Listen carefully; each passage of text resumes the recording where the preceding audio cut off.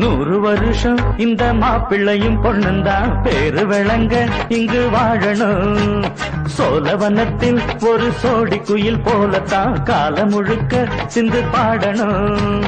ஒண்ணு கொண்ணு பக்கத்தில பொண்ணு புள்ள நிக்கையில கண்ணு படும். மொத்தத்தில கட்டழக அம்மாடி என்ன சொல்ல நூறு வருஷம்? இந்த மாப்பிள்ளையும் பொண்ணுந்தான். பேரு விளங்க இங்கு வாழணும்.